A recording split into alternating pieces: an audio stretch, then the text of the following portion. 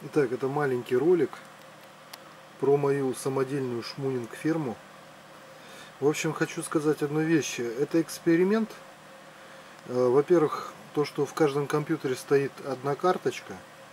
И, во-вторых, э, видим, все работает. И не требуется ни монитор, э, ни клавиатура с мышкой. Поначалу вот у среднего запрашивала, но я потом нашел, в чем причина, в биосе отключил. То есть хотел зайти на ощупь, так скажем, под э, админом, чтобы э, спидфан работал. В итоге понял, что это не нужно.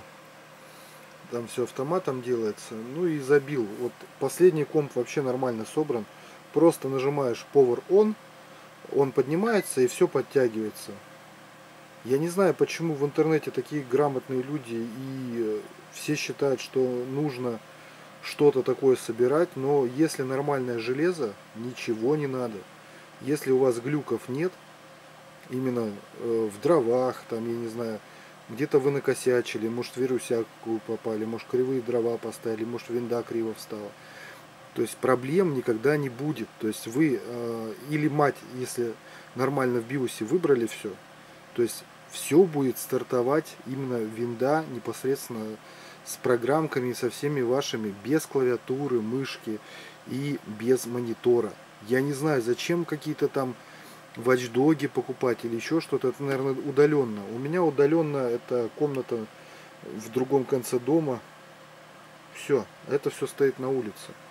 То есть, вот она улица за поликарбонатом. То есть они тут немножко подогревают. Ну, я так скажу, что тут воздуха столько, что вот это вот ни о чем. Блоки питания, я тут еще напомню, стоят 600 Вт, 550 и 450. В принципе, все прекрасно работает, э, ничего не греется. Про температуры показывать я не буду. Вот здесь стоят 580, ой, 570 э, две штуки.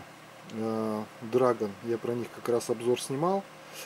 Короче, они почти ничем не отличаются от 480. То есть память тут пришла мне Unix. Э, короче, 22 это эфир и 290 э, это Zcash. То есть, кому интересно. Как-то вот так вот.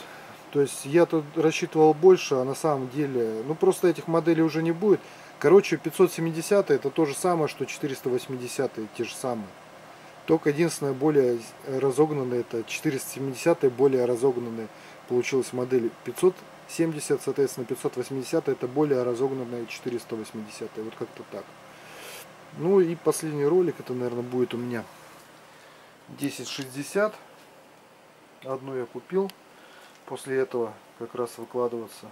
И на этом как-то все, там тоже мне интерес, сколько же будет отличия. Вот 470 у меня есть одна от 480-х, от сафиров, самсунгов и какая там память идет и как он будет аномайнить, стоит ли вообще, ну, в моем случае, искать, вылавливать 1060 дешевую, купил ее за 12, либо же э, искать и вылавливать какие-нибудь 480 ну или 570 или 470 то есть покажет уже время. В общем вот такой вот маленький ролик на этом все всем удачи не слушайте никого, делайте, разбирайтесь, и у вас будет все прекрасно работать.